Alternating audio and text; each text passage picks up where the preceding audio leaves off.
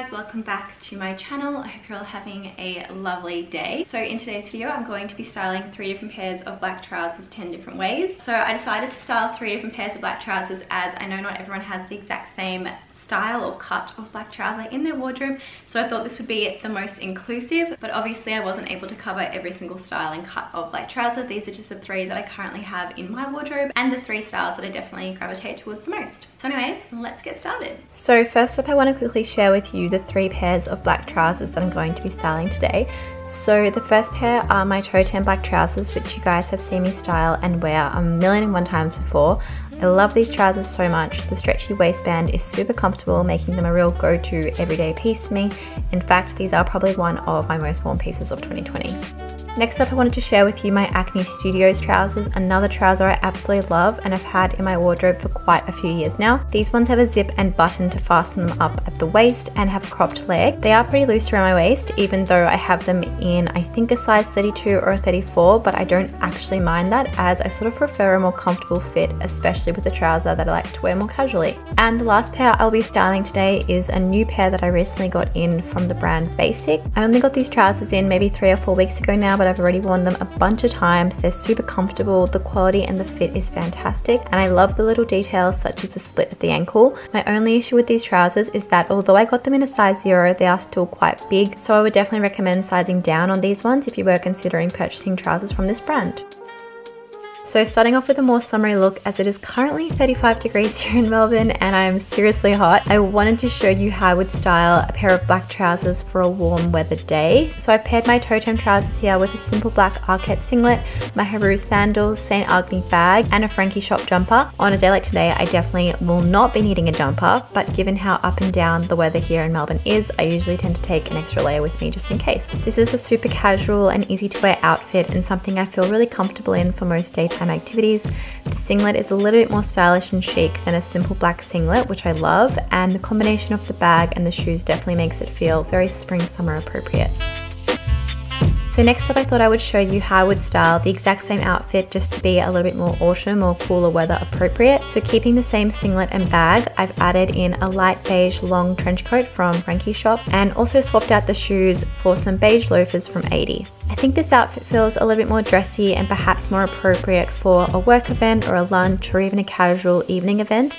I love how versatile this trench coat is. I wear it all the time and I just love how you can create so many different looks with it, just depending on whether you opt to leave it open or tie it up or even pop a jumper or a cardigan over your shoulders. It really is just such a versatile wardrobe piece. I think you could swap this trench coat for a wide variety of coats and jackets. It just depends on what you have in your wardrobe and I guess also what your preference is.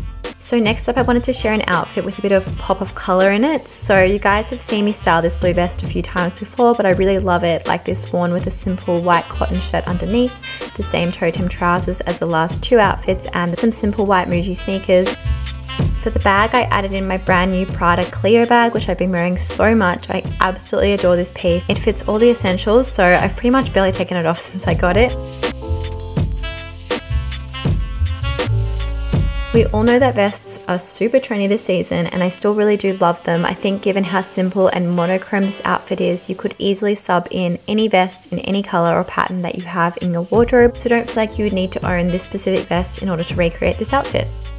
And lastly, I wanted to include a super casual, even working from home kind of outfit as well. We have all kind of been doing a lot of that this year, so I guess it only really makes sense. Keeping the same trousers as the last three looks, I've swapped in a white Jack and Jack singlet, a stripy shirt, my Birks, and a simple navy blue tote bag. So this is definitely an outfit I would wear on a day where I am just working from home, but I want to feel comfortable and still a little bit chic. I would also pop up to the shops or work from a cafe in this outfit, but depending on how you feel about wearing Birks out of the house, you might want to swap them for a really simple white sneaker or Converses. I really love outfits like this one for Melbourne weather at the moment. I've been wearing these kind of looks for dinner and drinks in the evening and also for work events during the day. I often will just pop a light blazer on top if I don't feel comfortable just wearing the singlet by itself.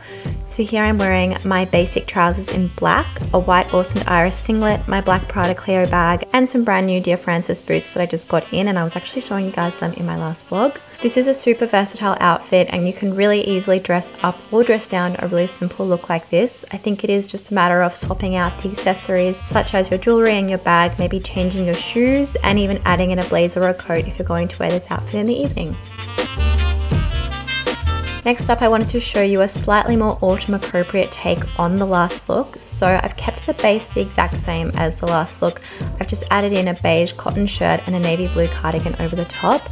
I love this outfit for so many different occasions, from a work lunch to dinner with friends. It is super versatile and, and feels a little bit dressy with the boots and bag, but then a bit casual with the cardigan over the shoulders. I think if you wanted to make this look even more casual, you could just untuck the shirt and have it be a bit more of a relaxed outfit, but it is really up to you and how you would like to style it. Also, obviously, depending on the weather, you could definitely add a beige trench coat or a wool coat or even a leather jacket over the top of this look. So next up I wanted to show you how I like to style black trousers for every day. So this is a real popping up to the shops, running some errands, grabbing coffee with a friend, that type of outfit for me. Here I'm wearing the same Bassike black trousers, a thick black singlet from New Denim, black shirt from Arket, my Lemaire crossbody handbag, and some simple black Doc Martens. You guys already know how much I love to wear an all black look and this one is really no exception. I always feel like wearing all black just looks polished and put together and often if I feel like I don't know what to wear or I feel like nothing in my wardrobe is working that day, an all black look really will solve all my problems. On a hot day, you could take the shirt off and wear this look with just a singlet underneath, and on a colder day, you could add an extra layer or two for warmth. So for this next outfit, I have on my cropped Acne Studios black trousers, a white Uniqlo t-shirt, oversized fake leather black jacket from the Frankie shop, and my Muji white sneakers. I've also paired this look with my padded cassette handbag for a slightly dressier feel, but you could just as easily pair this look with a simple black bag or a tote bag in any color or pattern that you wish. So this is a real go-to outfit for me, particularly on the weekends. It's an outfit that I like to repeat week after week, and I find I always feel comfortable and myself in an outfit like this. This is definitely the kind of outfit that I like to wear when I'm running some errands, I'm grabbing coffee, or I'm working from a cafe, that kind of thing. So this next outfit is not that dissimilar from the last in terms of comfort and casualness. I think the main difference here is that I've added a pop of colour to this look with the red Converses Recently I've really loved adding just a pop of colour to what is a really simple outfit and as you guys know I don't often wear that much colour typically but I think the warmer weather always makes me gravitate towards colour a little bit more than what I usually do during the year so I think these red Converses are a nice change. I've paired this look with the same trousers, the same t-shirt and I've swapped out the leather jacket for a super soft light grey Riley Studios jumper instead. If you are a bit scared of adding colour to your looks like I am, I would just say stick to one colour in the outfit. So here I definitely wouldn't go adding a green bag with the red cons, particularly as I'd probably end up looking like a Christmas tree. But even still, just one colour paired with neutral tones is always the most classic.